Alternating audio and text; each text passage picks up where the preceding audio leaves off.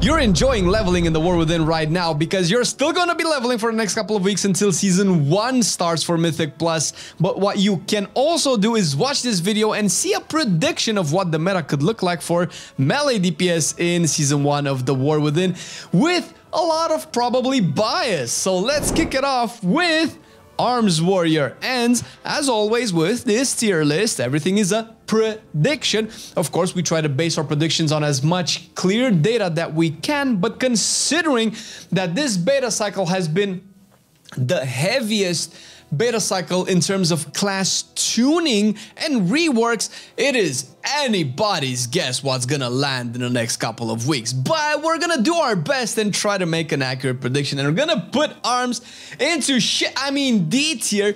Oh my god, D for dick, because oh, this is not it, Chief. Now, the damage of arms is not that bad. It's a little bit there. And in terms of overall performance it's rising a little bit higher with more and more tuning and changes to the hero talents but it's kind of similar if you've watched our range DPS list with Balanced Druid where I don't feel like people want to play ARMS. I don't know what's going on with the design, but it doesn't really feel like ARMS is what you want to play in terms of a warrior DPS pick, and we're going to get to that later in the video. but it also doesn't really bring any unique utility to Mythic Plus, and that is a warrior curse, since warriors in general are pretty bad at being helpful for their group. At the very least, what warriors could do is actually bring killer damage, or in this case, maybe killer execute, and maybe ARMS will eventually have good execute that's worth it, but even with with all of that, even now in Dragonflight, or let's say in season three, season four, uh, we've had ARMS be probably one, one of its best state in terms of meta, in terms of Dragonflight with giga damage, and it still wasn't cut to make it all the way into like S tier level. So it's gonna need a lot of love and probably a big rework to actually feel like you would want an ARMS or a warrior period in your Mythic Plus meta composition. Because a composition is basically composed of a lot of little unique little tools like how we are composed by our second channel that we can actually use to put clips and discussions about different wild topics that if we had to put them on the big main channel that you're looking at right now, it would probably tank the algorithm for some weird YouTube reason. But enough about that. You can actually check youtube.com slash at Marcelian Flame, which is our second channel, and see a lot of the snippets from our WoW wrap-up show that we have eh, live every Thursday, where Marcelian and I actually discuss class tuning, balance, meta, more subjects to come with the War Within expansion, but also topics freely discussed with you live that we normally cannot make a video on on the main channel. So if you want to see more uncensored, unfiltered Marcelian online, check our second channel, link down below. Leave a like and subscribe if you want to. I mean, it's a small channel. It helps. Every little bit helps, and we love you for it. And almost as love we... almost as much as we love assassination. Okay, guys, listen, we, we love you a lot, okay? But we love Assassination a little bit more because for the first time ever, oh my god, Assassination is... Wait, no, that's wrong. It's going into S Listen, I'm gonna be honest right here. Assassination stole my heart with a knife and it's kind of hiding it in a box somewhere. I don't know how much this prediction is going to last because historically Rogue has been one of the worst classes to predict in terms of individual specs for meta. Before Dragonflight, I believe Sub looked the best, and then it was just nerfed before Season 1 and again before Season 3. Similar to Assassination, it looked really well by the end of the testing cycle, and just like a day or a week before, it got nerfed into the ground and it completely tanked. As it stands right now, it's one of the best DPSers in the game, period, which is always really good. And Rogue is one of those classes that you really want in Mythic Plus. Its un unique utility and crowd control is great. It's not the best, but it's good enough where you will feel like it's worth it. Plus, the fact that Rogue is a super tanky class, period, is also a really good thing. Part of the reason why Assassination is also a desired spec in theory, because it has always had this thing, but it's never had enough damage. But in theory, Assassination is for, you kind of want it for the same reason you would want Fire Mage, where you actually have funnel damage when doing AoE some other specs have, but Assassination is one of the better ones in terms of its overall design because once you dot everything up, you can essentially just nuke one target and you might have to with Deathstalker as the hero talent and just see it splash damage with caustic spatter all around. And we are no strangers to a big influx of lieutenant type mobs present in the Mythic Plus pool season thing that we have this time around, and you will want specs with good funnel damage to clear those lieutenants up. We don't have bolstering affix anymore where that would be even better during bolstering weeks, but it's still going to be fairly valuable. And the fact that it does a lot of damage and is a rogue is probably going to make it into Asia. I mean, we predict and we kind of hope because I don't think Assassination has ever been meta that I can remember in Mythic Plus period, which is a stark contrast to the situation of Outlaw right now. That might actually change, and this is a good time to talk about a lot of the disclaimers for this type of video.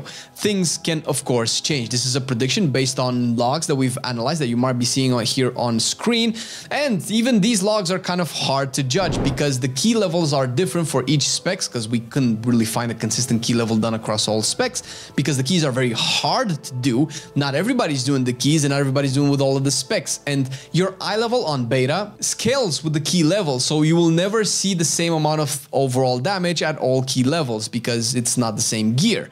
With that being said, nobody's playing Outlaw. Dude, I've looked through hundreds of logs, most likely. I couldn't find an Outlaw log. I don't know where they are, if they're hidden. Maybe this is a secret special project of S tier material where Outlaw's going to be in an MDI, and we just predicted it wrong, and it would be so hilarious. But as it stands, the damage is very poor, the design is a little bit eh, and it definitely feels like it's the probably loser of the rogue class at the moment. Of course, that can change, but until that changes, we kind of predict it's going to be tier. Let's say, okay, let's do the thing. Let's do the thing where right now it's D tier, but I predicted it's not going to be that bad. So I predict it's going to be at most into B tier because Outlaw has been consistently across the years a fairly good Mythic Plus spec since it had very few constraints in dealing its thing.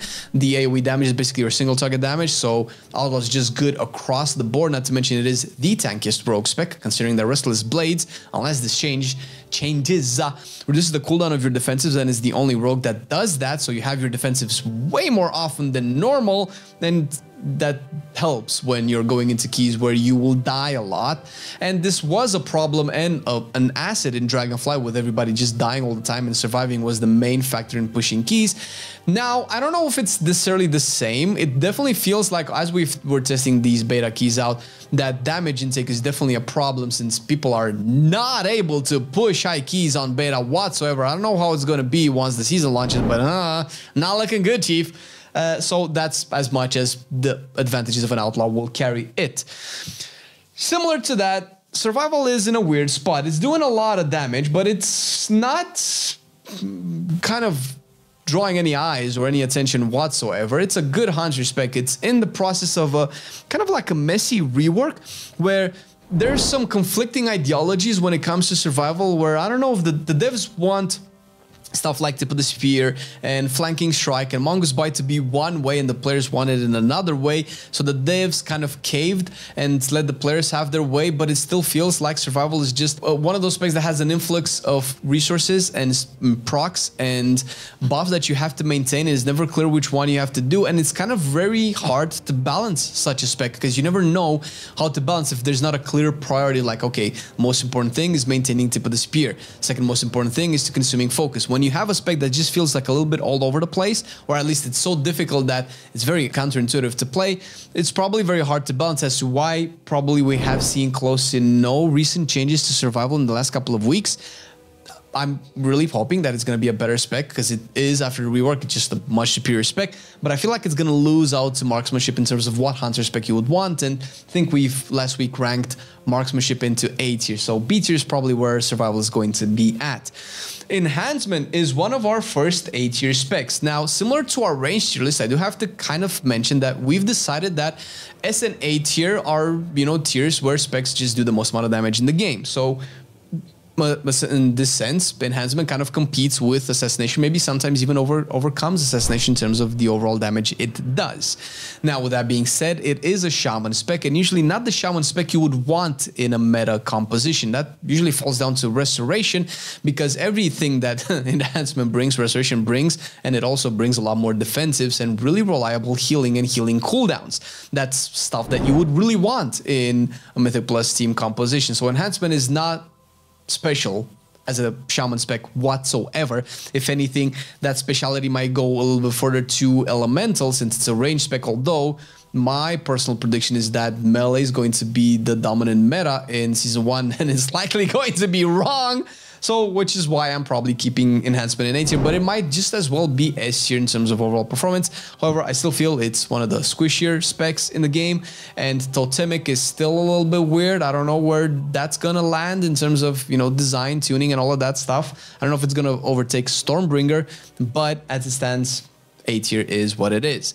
Feral is weird because first of all, if you're looking at some of the uh, overall displays that we have in this video, we don't have them for all specs because we just couldn't find, for instance, we couldn't find Outlaw whatsoever. Maybe there are some old three months locked where somebody accidentally uh, did a key in Outlaw spec and then went out and swapped back to Assassination. But uh, similar to Feral, um, outside of Maystein, who's a god at Feral, and you might see some of the logs right now showing some crazy overall for Feral, Feral doesn't really shine most. It definitely shines better than Balanced Druid because it just has better damage overall. And with the Rampant Ferocity being the way to delay away damage since Tear Open Wounds has been taken away, you'll have decent amount of funnel and priority single target damage as well. And that's really good for Mythic Plus. And you will be bringing the Druid goody things. But once again, the Druid, Druid the goody things as in the Battle Res, the Mark of the Wild, is anybody's game if Resto is going to be a meta spec or not. Because if Resto Druid is going to be the ideal healer of choice, you're likely not going to see any other Druid spec in the high S tier level specs. But outside of that, the damage is really good, rivaling almost those of the A tier. And the Druid things are also really good. I still predicted it's going to be in B tier. I don't think it's going to be any higher. It would be a big surprise if it is. Frost Death Knights. Um, okay, well, I think pretty much everybody expects it to be S tier, and uh, we've debated a little bit as to which Death Knight spec will be the better Death Knight spec at the moment. We're leaning more heavily towards Frost because Frost is for lack of a better word, easier to play than Unholy. And once again, it doesn't rely a lot on specific tank pools and number of packs, although obviously the more the better. And whenever they align with Frostwyrm's Fury if you're playing Rider of the Apocalypse, or your Death's Mark if you're playing Deathbringer, um, that's gonna be better, of course, sure. But outside of that, it's not as restrictive in doing its damage as Unholy would be, and the damage is gnarly, dude. Even after the nerfs, it's still one of the better DPS specs in the game. It's top, top. Like you see it all, almost always top the meters, but sometimes it's losing to like one spec or the other, but not consistently. So it's a very good spec. Not to mention Death Knight is going to be a very tanky spec period, tanky class in general. You're going to bring Battle Res, which is a good source to bring Battle Res from since Death Knights do it a little bit better than most other specs in the game, you have grips, which are going to be really good.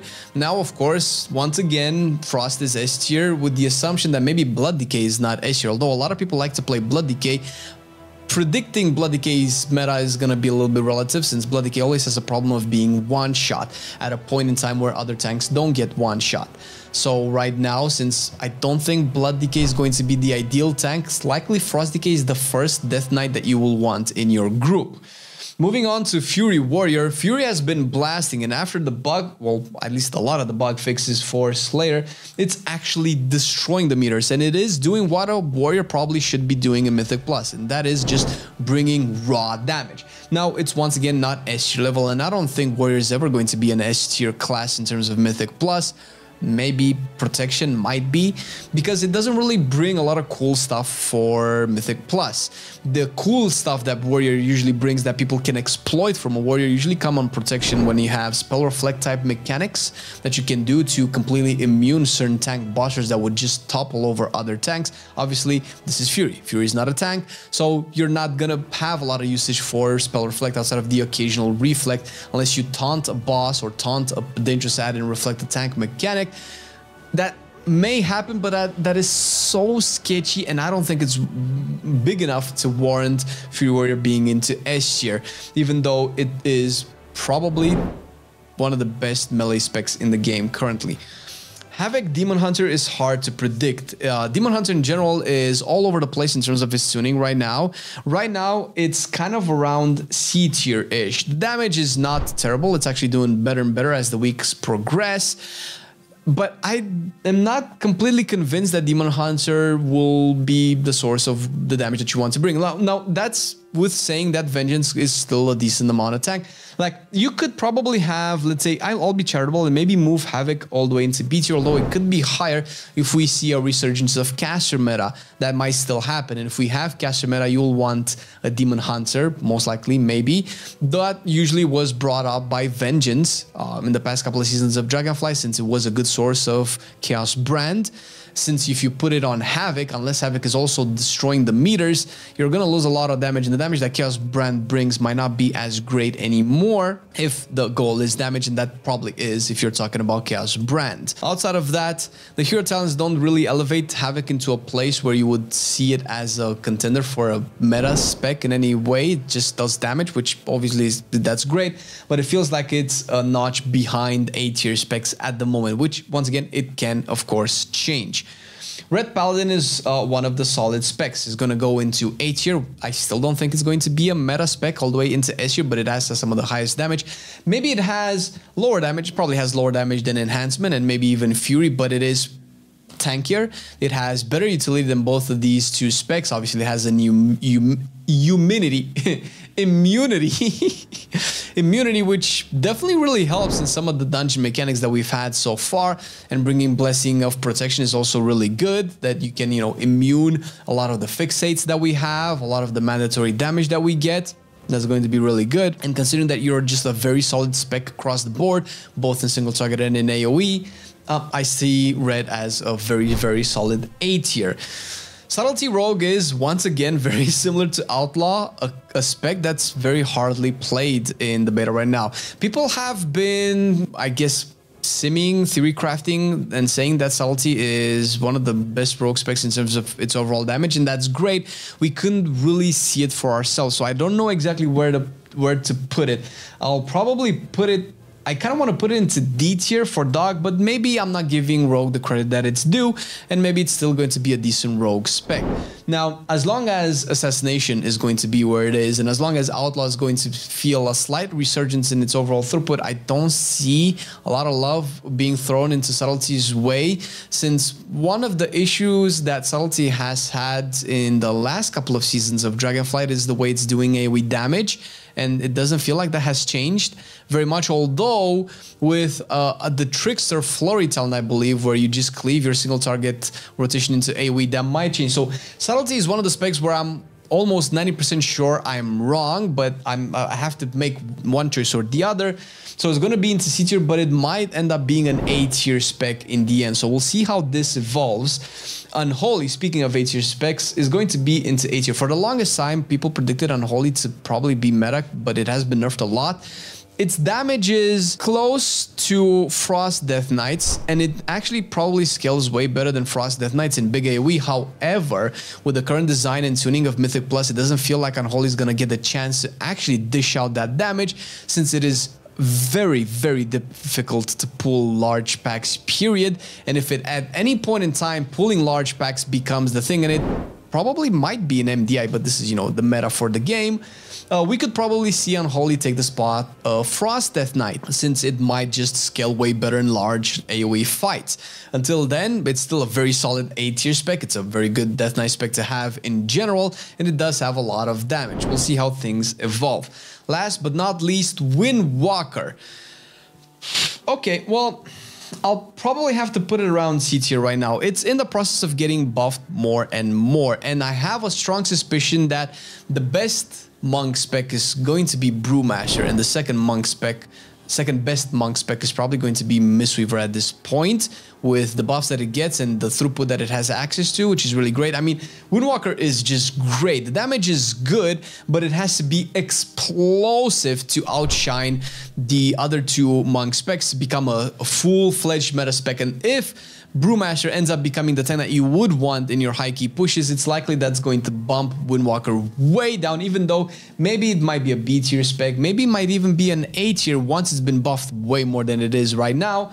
But until then, I don't suspect we're gonna see a lot of resurgence to it, considering that the hero talents are not particularly great anyway, and it did receive a rework, and it makes it really great. But I feel like it's very dangerous to buff Windwalker too much to the point where it might just break the game. I suspect it's a prediction, so we'll see if that actually ends up being the case as we go closer into the season one. And speaking of, you can also see what we predict the range DPS to be in our range DPS tier list right here that we've released last week. Once again, these are all tier lists and there are predictions based off incomplete uh, beta data that just changes from week to week based with all the class tuning. So take this with a big pinch of salt, a bucket of salt, if I may.